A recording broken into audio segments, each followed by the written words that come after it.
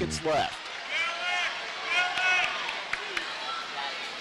Ball goes to Danny, back inside to Winkler. Winkler looks to get fouled. Shot up and in! I did not see Tucker Brown, and neither did the Patriots. It looks like we're going to overtime. All time up at 50. We'll take a quick break. We'll be right back.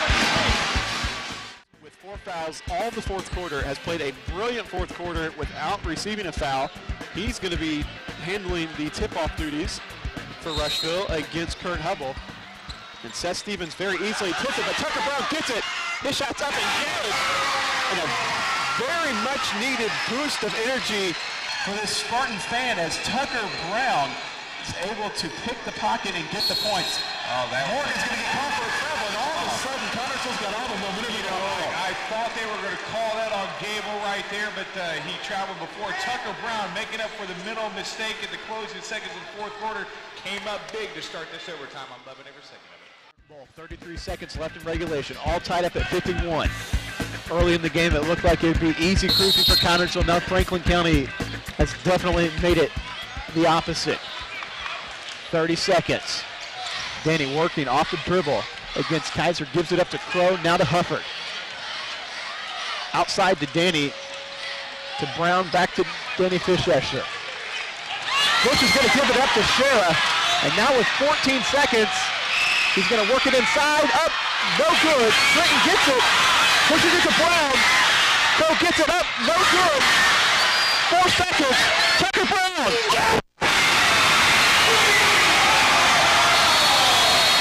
And I think this ball game's over.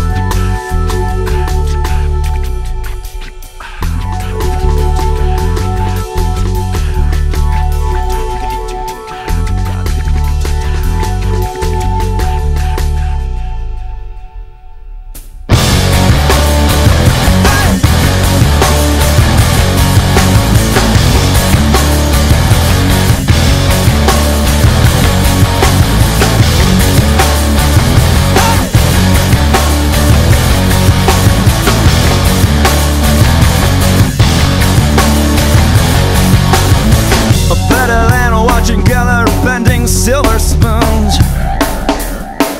Better than witnessing newborn nebulas in bloom. She sees from up high, smiles and surely sings.